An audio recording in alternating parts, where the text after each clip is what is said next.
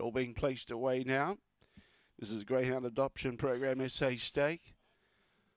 And the last of the Greyhounds are placed away. Green light goes on. We're set to go. Ready now away. Blasting Billy did come out, but then bumped also with Miss Amity. And two spot Bob gets up on the inside, and Uncle Drew down the outside.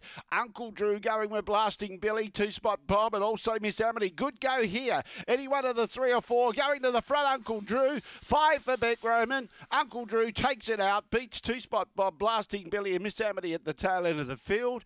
And not much between the four of them as they hit the line, and the time is around 1690. Uncle Drew should be 8 1 4 and 2 after race number 11. 1686 the time, 1686 was the run. 8 1 4, 8 1 4 and 2, 1686 the time. Uncle Drew makes a big night for uh, Big Day.